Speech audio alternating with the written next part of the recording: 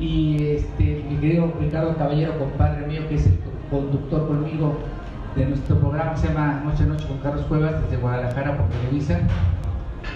A Edgar Oceransky, que es un cantautor de los más eh, bueno que se, que se puede escuchar ahora en México. Y los trenos de Venezuela, que son tres chavos que también muy buenos.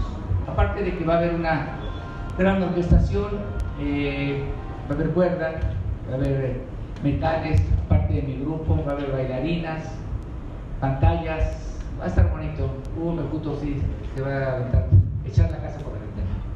¿Lo van a grabar? No sé, creo que sí, ojalá tenga la, la oportunidad de que se grabe. eh, ojalá lo grabe Hugo, ¿no? Es su, es su evento, eh, es como me celebra él mis 46 años de, de carrera artística. Va a estar también, lo que me acaban de decir, y sí aceptó, mi querida Manuela Torres cantando conmigo, mi querida comadre que, que tanto quiero. ¿Sí, verdad, Vicky? Así es. Señor, se dice fácil más de 40 años de trayectoria, pero sin duda ha sido mejor momento porque muchos de mis compañeros artistas que, que se dedicaron a cantar al principio baladas, o sea, recurren al bolero para poder vender discos. Ahí está, la pregunta.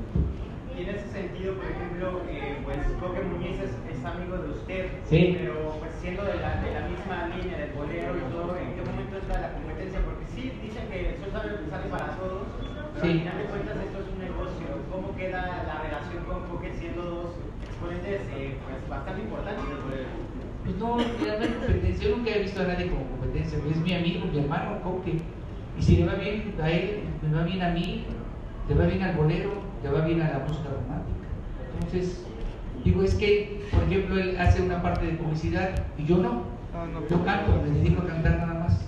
Entonces, sí me dedico a cantar y puedo eh, platicar con el público, hacer una comunión, hacer una fiesta, siempre cantando. Porque no sé si existe como él, no sé Obvio. Imitar como él, entonces, este. Digamos que lleva usted la parte seria del bolero y es la parte irreverente.